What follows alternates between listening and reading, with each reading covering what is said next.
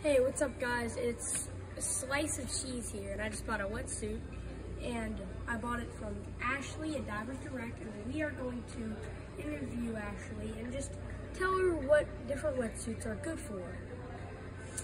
So we ended up with a two mil shorty for him today because down here in Key West it rarely gets cold enough to have a uh, full wetsuit on. So we ended up with just a shorty, which covers your core body, but not your arms and your legs. So you full, still have a full range of motion and are kept warm on your dives. Um, our other options are gonna be just different colors and a little bit longer of a suit. Again, nothing more than a two or a three mil because it's not cold enough down here.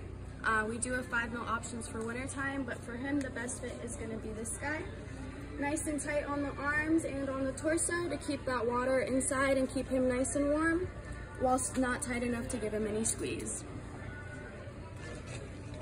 Thank you, like and subscribe, and we'll see you in the next video. Bye-bye.